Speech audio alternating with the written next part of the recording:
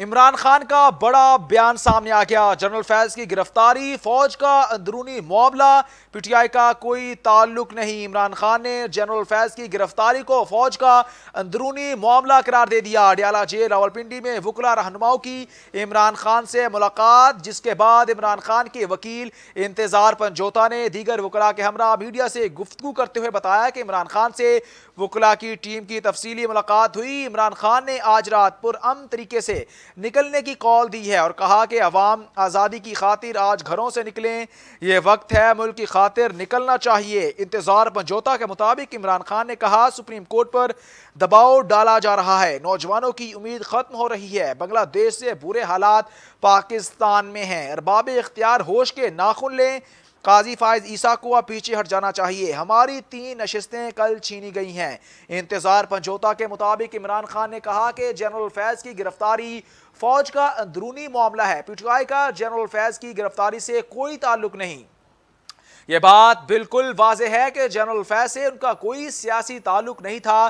General Bajwa نے نواز شریف سے deal کر کے جنرل فیض کو تبدیل کیا تھا۔ انتظار پنجوتا کے مطابق عمران خان نے کہا کہ اگر جنرل فیض کی گرفتاری کا تعلق نو مئی سے ہے اور ان کا نو مئی سے کوئی کردار ہے تو یہ بہت اچھا موقع ہے کہ اس کے لیے جوڈیشل کمیشن بنایا جائے اور نو مئی کی سی سی ٹی وی فوٹیجز بھی سامنے لائی جائیں۔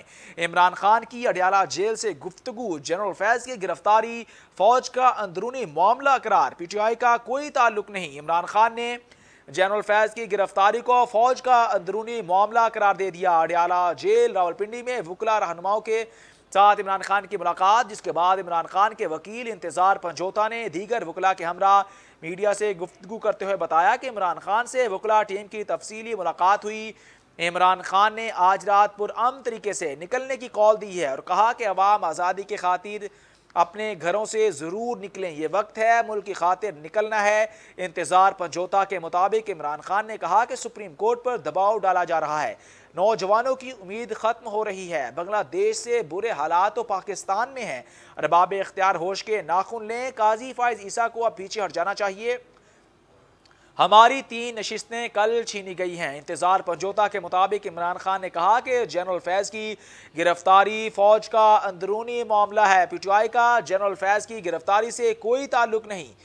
یہ بات بالکل واضح ہے کہ جنرل فیض سے ان کا کوئی سیاسی تعلق نہیں تھا۔ جنرل فیض نے نواز شریف سے ڈیل کر کے جنرل فیض کو تبدیل کیا تھا۔ انتظار پنجوتا کے مطابق عمران خان نے کہا کہ اگر اگر جنرل فیض کی گرفتاری کا تعلق نو مئی سے ہے اور ان کا نو مئی میں کوئی بھی کردار ہے تو یہ بہت اچھا موقع ہے۔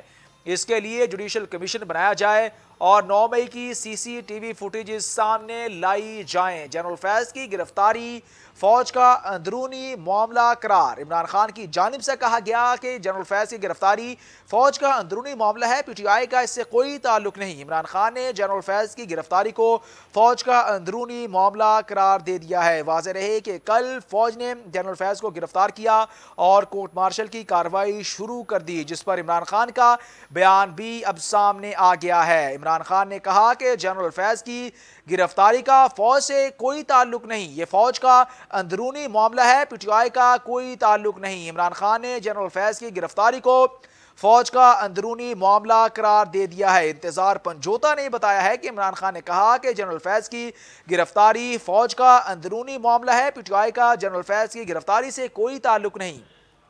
یہ بات بالکل واضح ہے کہ جنرل فیض سے ان کا کوئی سیاسی تعلق نہیں تھا۔ جنرل باجوہ نے نواز شریف سے ڈیل کر کے جنرل فیض کو تبدیل کیا تھا۔ انتظار پنجوتا کے مطابق عمران خان نے کہا کہ اگر جنرل فیض کی گرفتاری کا کوئی تعلق نو مئی سے ہے اور نو مئی میں ان کا کوئی کردار ہے تو یہ بہت اچھا موقع ہے۔ اس کے لیے جوڈیشل کمیشن بنایا جائے۔ اور نو مئی کی سی سی ٹی وی فوٹیجز بھی سامنے لائی جائیں۔ آپ کو ہم خبر سے آگاہ کر رہے ہیں۔ اس وقت کی بڑی خبر، عمران خان نے جنرل فیض کی گرفتاری پر رد عمل دے دیا ہے۔ انتظار پنجوتا اور دیگر رہنماؤں سے ملاقات کی اور کہا کہ جنرل فیض کی گرفتاری فوج کا اندرونی معاملہ ہے۔ پی آئی کا اس سے کوئی تعلق نہیں۔ عمران خان نے جنرل فیض کی گرفتاری کو فوج کا اندرونی معاملہ قرار دے دیا ہے۔